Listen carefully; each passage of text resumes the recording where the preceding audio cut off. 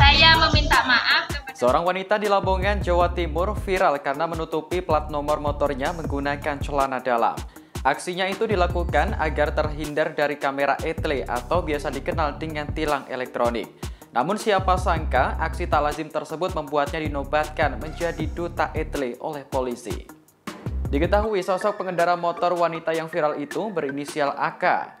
Bersama tiga rekannya, AK membuat konten lucu bagaimana cara menghindari tilang etle di jalan raya. Dalam video, AK tampak mengenakan daster hitam sambil menaiki sepeda motor. Namun yang membuat gagal fokus adalah plat nomor di bagian belakang ditutup menggunakan celana dalam. Video itu kemudian viral di media sosial hingga mendapatkan sorotan oleh pihak kepolisian. Dikutip dari suryamalang.com, peristiwa itu terjadi di Pasar Miru, Kecamatan Sekaran, Kabupaten Lamongan pada Rabu 29 Juni. Kapolres Lamongan AKBP Miko Indrayana mengatakan pihaknya sudah mendatangi AK untuk diberikan edukasi.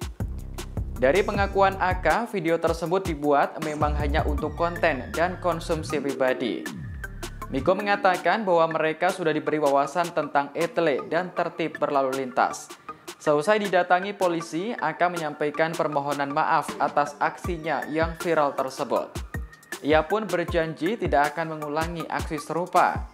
Miko menjelaskan bahwa pihak yang terlibat dalam pembuatan video itu terbebas dari hukuman. Namun mereka diberikan tanggung jawab untuk menyebarluaskan informasi soal etle di masyarakat. Untuk itu, aparat Polres Lamongan menobatkan AK menjadi duta etle atau Electronic Traffic Law Enforcement.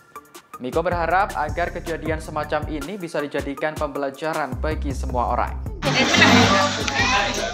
saya meminta maaf kepada Pak Polisi atas unggahan TikTok kemarin pada hari Sabtu tanggal 25 Juni 2022 dan saya sudah diberikan sosialisasi tentang tertib lalu lintas dan ke depan saya tidak akan mengulangi lagi dan ke depan akan menggunakan media sosial dengan bijak.